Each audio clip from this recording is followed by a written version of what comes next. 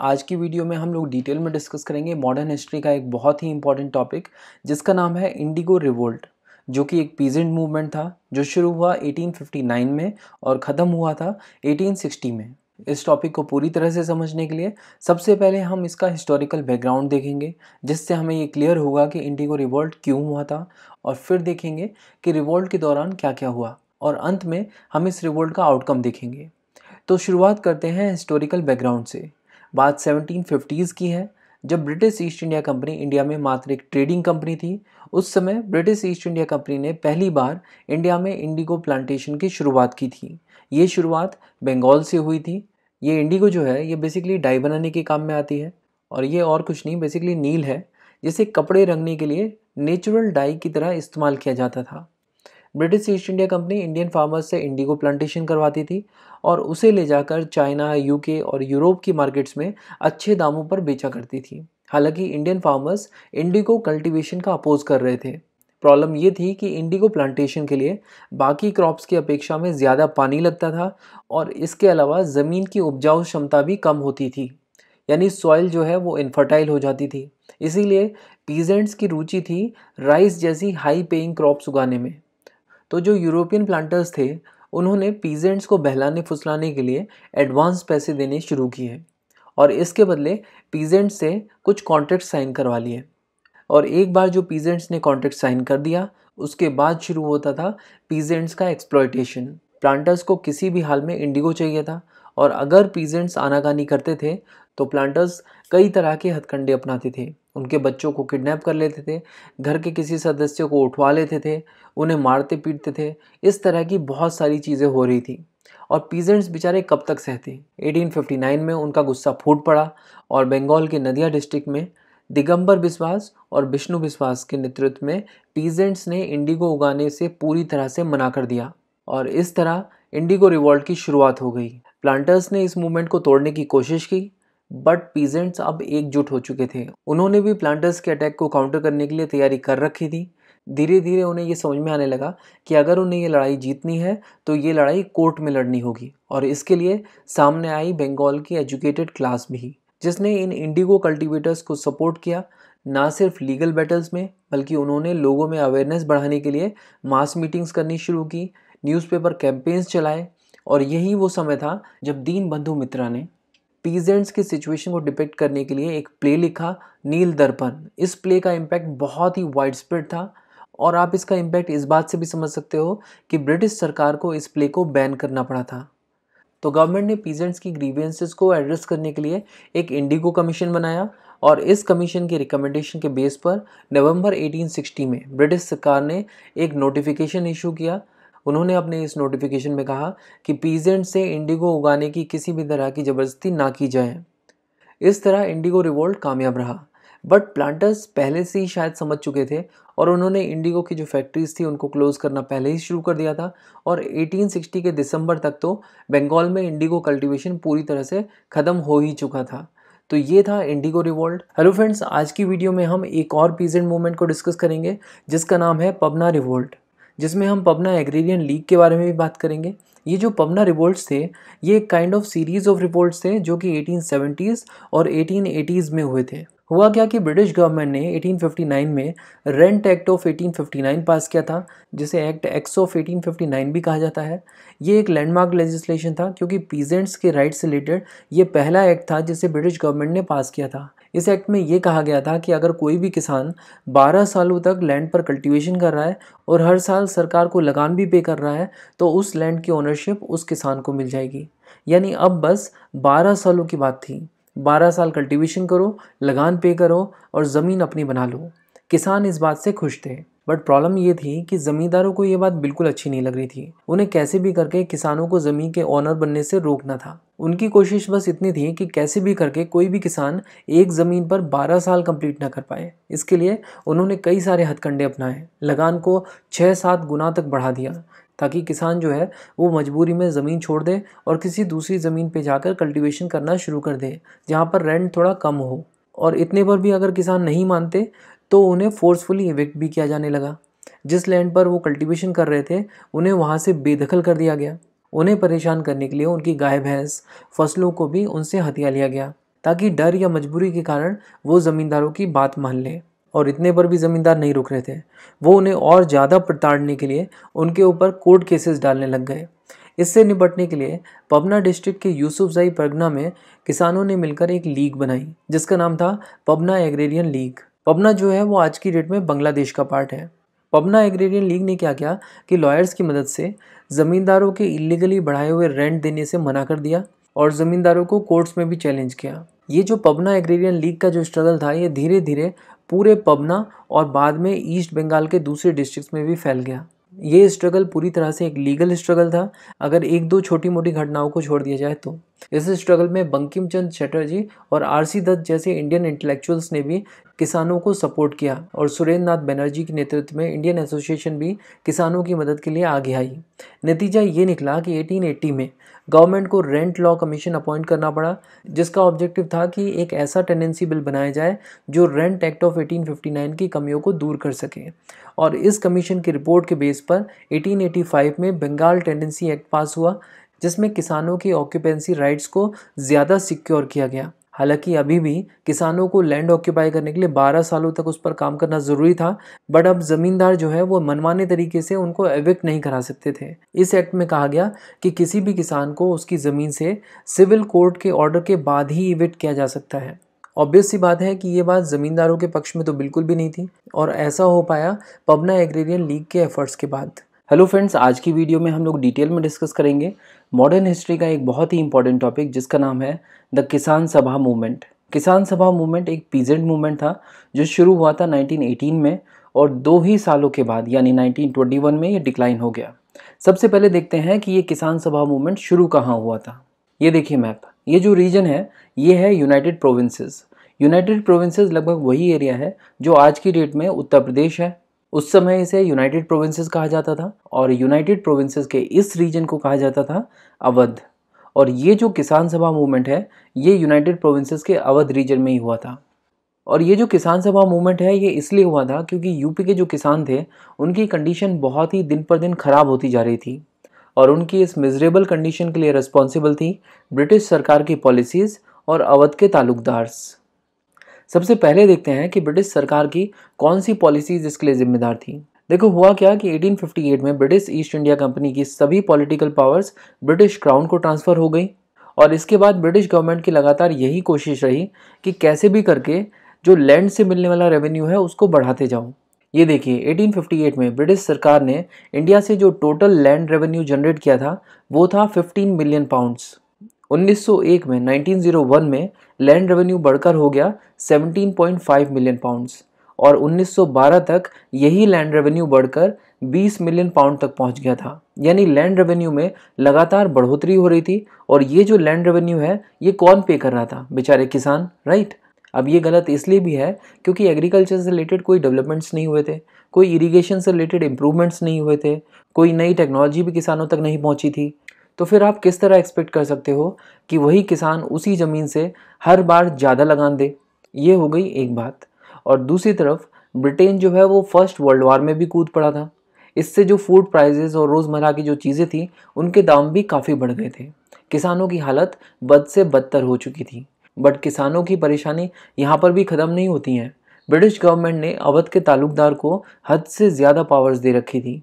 क्योंकि ये ताल्लुकदार ही थे जो इन किसानों से लगान वसूलते थे। तो ब्रिटिश गवर्नमेंट की शर्त बस इतनी सी थी कि कैसे भी करके लगान वसूलो, उसके लिए चाहे किसानों को डराओ, धमकाओ, मारो या पीटो।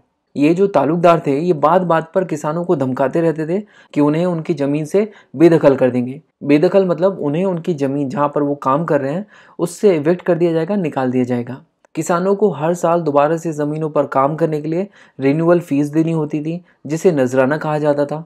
इसके अलावा तालुकदार जो हैं, वो रिकॉर्ड रेट से ज़्यादा लगान वसूलते थे। बेसिकली ब्रिटिश गवर्नमेंट ने तालुकदार्स को उनकी ज़मीनों के जो रेट्स हैं, वो पहले से बता के दिए होते थे। उन्हीं रेट्स पर उन्हें टैक्स कलेक्शन करना होता था, जिसमें कुछ हिस्सा तालुकदार को मिलता था और बाकी का हिस्सा गवर्नमेंट को जाता था। बट ये तालुकदार इन रिकॉर्डेड रेट से भी ज़्यादा टैक्स वसूलते थे, जिसके बारे में ब्रिटिश गवर्नमेंट को भी नहीं पता होता था। इसके अलावा ये लोग और भी बहुत सारी इलीगल वसूली किया करते थे। जैसे कि अगर ताल्लुकदार के घर में बच्चा हुआ है तो इन्हें गिफ्ट देना होता था। तालुकदार के यहाँ पर शादी है, कोई मर गया है, हर ओकेजन्स पर किसानों को अपना कंट्रीब्यूशन देना होता था। किसानों की इन्होंने बहुत ही बुरी हालत कर दी थी। और कोई भी नहीं था जो इनकी बात सुने। इनफैक्ट कांग्रेस भी गांधी जी के आने से पहले पीजेंट्स को साथ में लेकर नहीं चल रही थी। बट फिर सितंबर 1916 में एनी बेसेड ने होम रूल लीग इस्टेब्लिश की। और उनका उद्देश्य था कि वो ज़्यादा से ज़्यादा लोगों को होम रूल लीग के आइडियल्स के बारे में बताएँ, लोगों को पॉलिटिकली अवेयर करें। इसीलिए होम रूल लीग के जो एक्टिविस्ट थे, वो गांव-गांव जाकर किसान सभा करते थे। इन सभाओं में बहुत सारी भीड़ इकट्ठा होती थी। सब लोग जब मिलते तो आपस में डिस्कस करते थे कि उनकी क्या क्या परेशानी है। तो सब लोगों को एक बात समझ में आ गई कि सब लोगों की परेशानी एक जैसी सी है। तो सब लोगों ने मिलकर फरवरी 1918 में यूनाइटेड प्रोविंस किसान सभा इस्टेब्लिश कर दी। और ये जो यूनाइटेड प्रोविंस किसान सभा थी, इसको सेटअप किया था गौरी शंकर मिश्रा और इंद्र नारायण द्विवेदी ने। और इन्हें सपोर्ट किया था मदन मोहन मालवीय ने, जो कि एक बड़े कांग्रेस लीडर थे और उस समय होम रूल लीग से जुड़े हुए थे। गौरी शंकर मिश्रा और इंद्र नारायण द्विवेदी के अलावा झिंगुरी सिंह, दुर्गपाल सिंह और बाबा रामचंद्र भी यूनाइटेड प्रोविंस किसान सभा के बड़े लीडर थे। जून 1919 तक यूनाइटेड प्रोविंसेस के अंदर इन्होंने 450 ब्रांचेस खोल ली थी। और ये लोग बड़ी मात्रा में कांग्रेस के 1919 अमृतसर सेशन में भी शामिल हुए थे। अब इनको ऐसा लग रहा था कि हाँ अब ये लोग मेन स्ट्रीम में आ रहे हैं, कांग्रेस इनके साथ है और अब तालुकदार और ज़मींदारों से इनका चंगुल छूट जाएगा। सब सही चल रहा था, बट इसी बीच 5 सितंबर 1920 को गांधी जी ने नॉन कॉपरेशन मूवमेंट लॉन्च कर दिया। ये एक नॉन वॉलेंट मूवमेंट था और गांधी जी चाहते थे कि किसान भी इस मूवमेंट में पार्टिसिपेट करें। बट नॉन कॉपरेशन मूवमेंट के ऑब्जेक्टिव्स में किसानों की परेशानियों को पूरी तरह से इग्नोर कर दिया गया था। इससे क्या हुआ कि यूनाइटेड प्रोविंस किसान सभा में दो गुट बन गए। एक गुट का मानना था कि हमें नेशनल मूवमेंट के चक्कर में नहीं पड़ना चाहिए, अपने लोकल इश्यूज़ पे काम करते हैं। High rent illegal taxes eviction के खिलाफ हम लोग एक मुहिम छेड़ते हैं। Non cooperation movement Gandhi ji को अलग से लड़ने दो। जबकि यूनाइटेड प्रोविंस किसान सभा के दूसरे गुट का मानना ये था कि गांधी जी जो कर रहे हैं, वही सही है। उनके पीछे पीछे चलते रहते हैं, कहीं ना कहीं तो पहुँच ही जाएँगे। अब ये दो गुट बन चुके थे और इसीलिए यूनाइटेड प्रोविंसेस किसान सभा से कुछ लोग अलग हो गए और अक्टूबर 1920 में इन्होंने अपनी अलग ऑर्गेनाइजेशन बना ली, अवध किसान सभा। अवध किसान सभा ने लोगों को तैयार किया कि वो बेदखली लैंड की कल्टीवेशन करने से मना कर दें। कहने का मतलब कि अगर किसी किसान को उसकी ज़मीन से बेदखल कर दिया गया है तो उस लैंड पर तालुकदार अगर किसी और को अपॉइंट करता है किसानी करने के लिए तो वो किसान इस बेदखली लैंड पर काम करने से बिल्कुल मना कर दे। और कोई भी किसान बिना पेमेंट के काम तो बिल्कुल भी ना करे, यानी हारी और बेकारी बिल्कुल नहीं चलेगी। और जो इन बातों को नहीं मानेगा, समझ लो सोसाइटी से उसको बॉयकआउट किया जाएगा। वैसे देखा जाए तो अच्छा तरीका था। बट मूवमेंट शुरू करना एक बात होती है और उसको संभालना एक अलग ही लेवल का गेम है। तो जनवरी 1921 आते आते इन लोगों के काम के तरीके बदल गए और इन लोगों ने बाज़ारों को, घरों को और गोदामों को लूटना शुरू कर दिया। अब ऐसा काम करेंगे तो पुलिस के साथ झड़प भी होगी और ये सब खासकर हो रहा था यूपी के बरेली, फैज़ाबाद और सुल्तानपुर एरियाज़ में। अब अगर आप वायलेंस पर उतर आओगे तो ब्रिटिश गवर्नमेंट को तो स्ट्रिक्ट एक्शन लेना ही था। तो पुलिस ने जब तोड़ाई करनी शुरू की तो आधे किसान भाग गए। और इसके अलावा ब्रिटिश गवर्नमेंट ने अवध रेंट अमेंडमेंट एक्ट भी पास किया था, जिससे पीजेंट्स को कुछ राहत मिली थी। तो बचे कुचे जो किसान थे, वो इस राहत को देख कर शांत हो गए और मूवमेंट से साइड हो गए। और इस तरह ये मूवमेंट कुछ ही समय में पूरी तरह से शांत हो गया। हेलो फ्रेंड्स, आज की वीडियो में हम लोग डिटेल में डिस्कस करेंगे मॉडर्न हिस्ट्री का एक बहुत ही इंपॉर्टेंट टॉपिक, जिसका नाम है एका मूवमेंट। एका मूवमेंट एक पीजेंट मूवमेंट था, जो साल 1921 के आखिरी के कुछ महीनों में शुरू हुआ था। और मात्र पाँच छः महीने के बाद, यानी मार्च 1922 तक, ये मूवमेंट डिक्लाइन हो गया था। एका मूवमेंट को समझने के लिए, हमें किसान सभा मूवमेंट के बारे में पता होना चाहिए, जिसे हमने पिछली वीडियो में ऑलरेडी डिस्कस किया था बट फिर भी इस वीडियो में हम किसान सभा मूवमेंट को क्विकली रिवाइज करेंगे। हमने देखा था कि नॉन कॉपरेशन मूवमेंट के ऑब्जेक्टिव्स में किसानों की समस्याओं को पूरी तरह से इग्नोर कर दिया गया था, जिसकी वजह से यूनाइटेड प्रोविंसेस किसान सभा के मेंबर्स दो गुटों में बट गए थे। एक गुट जो है वो नॉन कॉपरेशन मूवमेंट के फेवर में था और दूसरा गुट चाहता था कि नॉन कॉपरेशन मूवमेंट को छोड़ो और अपने लोकल इश्यूज़ पर ध्यान दो।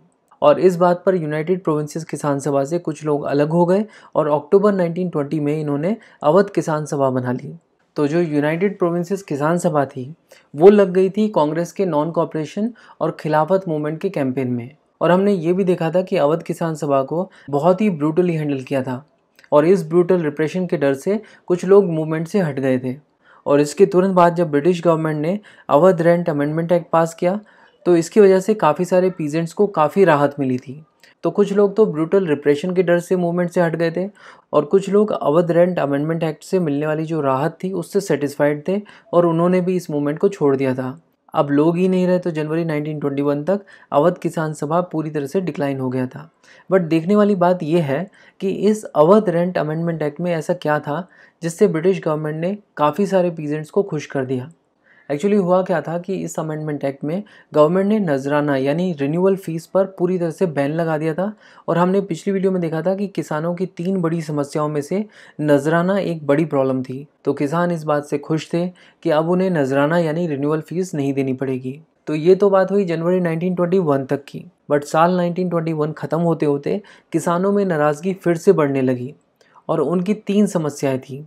हाई रेंट्स ठेकेदारों द्वारा उनका शोषण और प्रैक्टिस ऑफ़ शेयर रेंट इन्हें डिटेल में समझते हैं। देखो हाई रेंट वाली जो समस्या है, किसान सभा मूवमेंट के टाइम पर भी हमने देखी थी। हमने देखा था कि तालुकदार जो है, वो रिकॉर्ड रेट से ज़्यादा लगान वसूलते थे।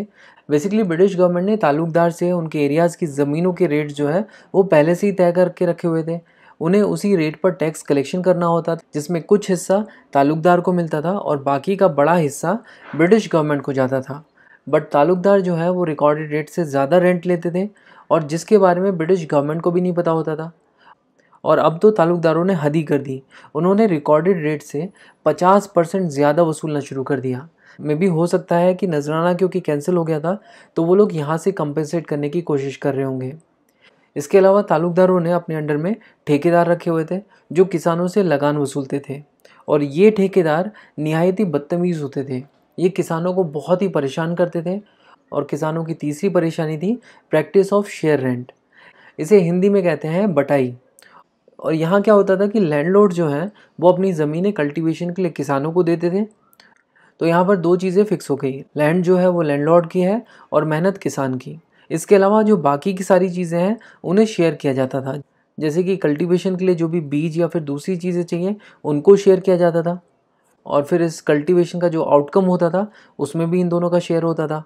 इसी के साथ साथ ब्रिटिश गवर्नमेंट को जो लगान देना होता था, उसमें भी लैंडलॉर्ड और किसान का शेयर होता था और ये सब म्यूचुअली डिसाइड होता था कि किसको कितना शेयर मिलेगा और इसी को कहते थे बटाई। बट ये जो शेयर रेंट की प्रैक्टिस थी, इसमें अल्टीमेटली किसान ही पिसता था और इस तरह की जो डील होती हैं, जिसमें दो लोग शेयर कर रहे होते हैं, उसमें आमतौर पर जो कमज़ोर होता है, बेचारा वही मारा जाता है और यहाँ पर भी वही हो रहा था। तो ये तो हो गए एका मूवमेंट के कॉजेज़ अब हम लोग बात कर लेते हैं कि ये मूवमेंट कहाँ पर हुआ था। तो ये मूवमेंट हुआ था अवध के नॉर्दर्न पार्ट में। तो हम लोगों ने कॉजेज़ को समझा और ये भी समझा कि ये मूवमेंट कहाँ पर हुआ था। अब देखते हैं कि एका मूवमेंट की शुरुआत कैसे हुई। अब यहाँ पर हम लोग अवध किसान सभा को हटाई देते हैं, क्योंकि ये मूवमेंट तो पहले ही डिक्लाइन हो चुका था। बात करते हैं यूनाइटेड प्रोविंस किसान सभा की, जो इंडियन नेशनल कांग्रेस के साथ मिलकर नॉन कॉपरेशन मूवमेंट और खिलाफत मूवमेंट में कैंपेन कर रहे थे। इन्होंने कांग्रेस के लीडर्स को बताया कि भाई, हमारे लोग जो है वो परेशान हैं। ज़मींदार जो है वो रिकॉर्ड रेट से ज़्यादा पैसे वसूल कर रहे हैं। इनफैक्ट पचास परसेंट ज़्यादा वसूल कर रहे हैं। और शेयर रेंट की समस्या है और ठेकेदार उनको तंग कर रहे हैं। तो कांग्रेस की जो लीडरशिप थी, उसने किसानों को मोबलाइज करने को कहा। उन्होंने कहा कि तुम लोग गाँव में जाओ और लोगों को एकजुट करने का संदेश दो, क्योंकि तालुकदार हो या ठेकेदार, किसानों का शोषण इसीलिए हो रहा है क्योंकि ये लोग एकजुट नहीं हैं। तो किसान सभा और कांग्रेस के एक्टिविस्ट ने किसानों को एकजुट करने के लिए जगह जगह पर मीटिंग्स करनी शुरू की। इन मीटिंग्स को कहा जाता था एका मीटिंग। इन एका मीटिंग्स में किसानों को पॉलिटिकली एजुकेट भी किया जाता था। उन्हें कहा गया कि जब ज़मींदार आपसे रिकॉर्डेड रेट से ज़्यादा पैसे माँगता है और आपको इस बात का पता है तो आप उससे रसीद क्यों नहीं मांगते? ज़्यादा की रसीद काटेगा तो आप ब्रिटिश सरकार के पास जा सकते हो। आपके पास प्रूफ होगा और ब्रिटिश सरकार जो है वो ज़मींदार और तालुकदार को पकड़ेगी। लोगों ने कहा, ये बात तो सही है। लोगों ने ऐसा करना शुरू कर दिया। और इस तरह शुरू हुआ एका मूवमेंट ये 1921 के नवंबर दिसंबर के महीने में शुरू हुआ था। बट अब दिक्कत ये आ रही थी कि ये बेचारे किसान जो है, वो ठेकेदार से रसीद बाद में मांगते थे। ठेकेदार इनके कान पे थप्पड़ पहले रसीद कर देता था। किसान जो है, वो ठेकेदारों के सामने कमज़ोर पड़ रहे थे। तो किसानों को मज़बूत करने के लिए, उनकी विल पावर को बढ़ाने के लिए एक तरीका निकाला गया। अब एका मीटिंग्स जहाँ पर भी होती थी, वहाँ पर एक गड्ढा खोदा जाता था। उसमें पानी भरा जाता था और लोगों को बोला जाता था कि आप इसको गंगा जी मान के इसमें डुबकी लगा दो। इन मीटिंग्स में पंडित जी बुलाए जाते थे, लोगों से डुबकी लगवाई जाती थी और बाकायदा पूरे मंत्रों वंत्रों का जाप होता था। लोगों को कस्में खिलाई जाती थी कि अब कुछ भी हो जाए रिकॉर्डेड रेंट से ज़्यादा रेंट नहीं दूँगा। ज़मीनों से भगाया जाएगा तो भागूँगा नहीं, किसी भी प्रेशर में आके काम नहीं करूँगा, गुंडे और बदमाशों को मदद नहीं करूँगा और पंचायत का फैसला मेरे लिए आखिरी फैसला होगा। एका मूवमेंट में ये टेक्निक काम कर गई। एका मूवमेंट में जाना गई। बट नॉन कॉपरेशन और खिलाफत मूवमेंट के चलते कांग्रेस का ध्यान जो है वो एका मूवमेंट से थोड़ा सा हट गया था।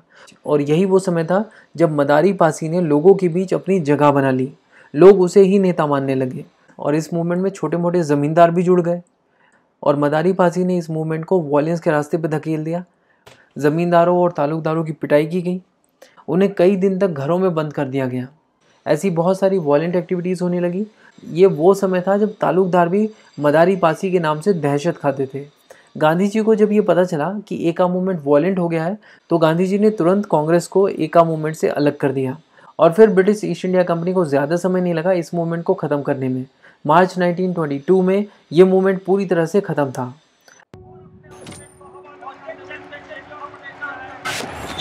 हेलो फ्रेंड्स आज की वीडियो में हम लोग डिटेल में डिस्कस करेंगे मॉडर्न हिस्ट्री का एक बहुत ही इंपॉर्टेंट टॉपिक जिसका नाम है बारडोली सत्याग्रह, जो हुआ था 1928 में। ये देखिए, ये है बारडोली की लोकेशन बारडोली तालुका सूरत डिस्ट्रिक्ट का पार्ट है, जो कि आज की डेट में गुजरात में है बट उस समय में ये बॉम्बे प्रेसिडेंसी का पार्ट हुआ करता था। ब्रिटिश गवर्नमेंट हर तीस साल के बाद लैंड का असेसमेंट करवाती थी, और उस लैंड असेसमेंट के बेस पर यह तय होता था कि किसी भी जगह के लैंड रेवेन्यू में कितनी बढ़ोतरी होनी चाहिए।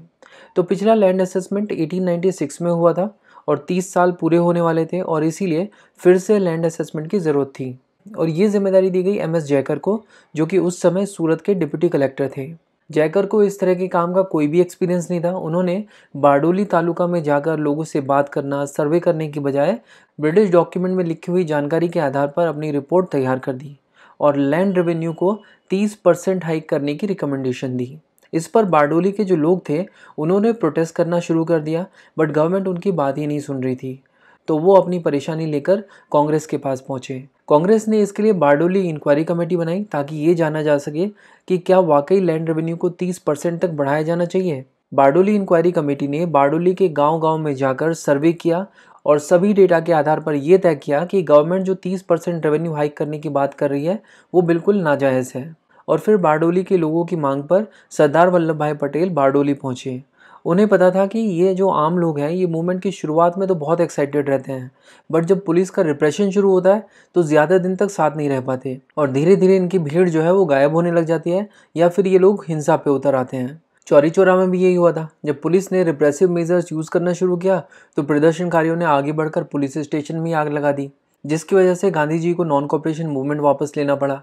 इसके लिए वल्लभ भाई पटेल ने एक रास्ता निकाला। उन्होंने रिलीजियस लीडर्स को बुलवाया और सभी लोगों को कसम खिलवाई कि वो किसी भी हाल में इस मूवमेंट के ख़त्म होने तक लैंड रेवेन्यू को पे नहीं करेंगे।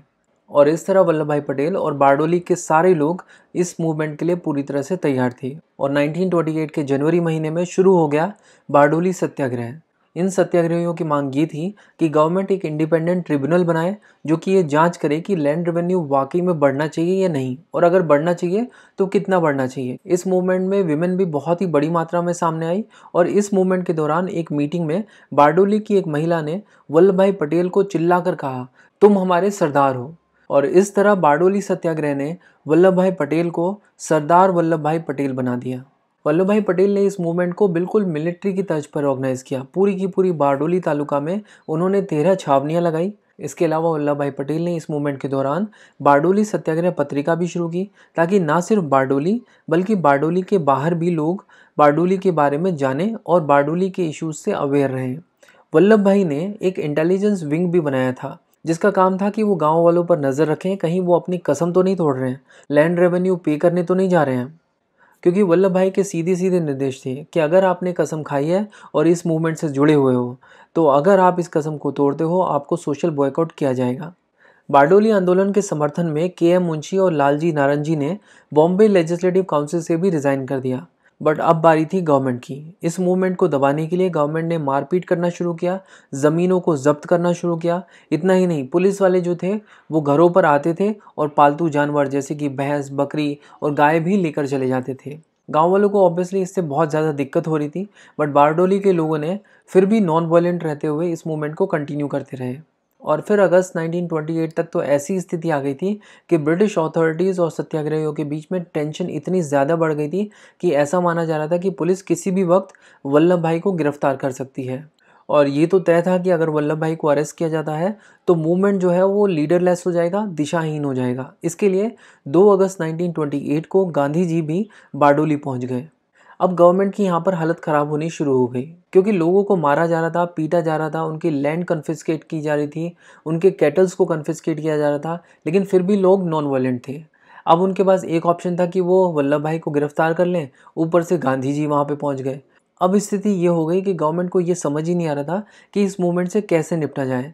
और इसीलिए अंत में उन्हें बारडोली सत्याग्रहियों की डिमांड को मानते हुए एक इंडिपेंडेंट ट्रिब्यूनल सेट करना पड़ा, मैक्सवेल ब्रूमफील्ड के नेतृत्व में। अब ये जो मैक्सवेल और ब्रूमफील्ड थे, इन्होंने गांव-गांव घूमकर किसानों से बात की और दूसरे डॉक्यूमेंट्स और दस्तावेज़ों के बेस पर फाइनली डिसाइड किया कि जो लैंड रेवेन्यू है, वो 30 परसेंट नहीं, बल्कि 6 परसेंट ही बढ़ाया जाना चाहिए।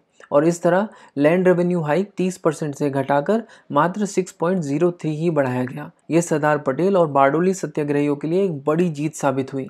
बारडोली सत्याग्रह की जीत अपने आप में एक बहुत ही हिस्टोरिक जीत है, क्योंकि इससे पहले जब नॉन कॉपरेशन मूवमेंट को बंद कर दिया गया था तो लोगों का विश्वास जो है वो गांधी जी के सत्याग्रह वाले कंसेप्ट पे से हिलने लग गया था। अब यहाँ पर जो ये जीत हुई है सत्याग्रहियों की इससे ये बात साबित हो गई कि जो तरीका है वो यही है जिससे आपको आज़ादी मिलेगी। And it is an Indian captain who's been absolutely magnificent in the night of the final. तो ये था बारडोली सत्याग्रह। बुक्स तवा चैनल पर हिस्ट्री और इंडियन पॉलिटी के बहुत सारे वीडियोस अवेलेबल हैं।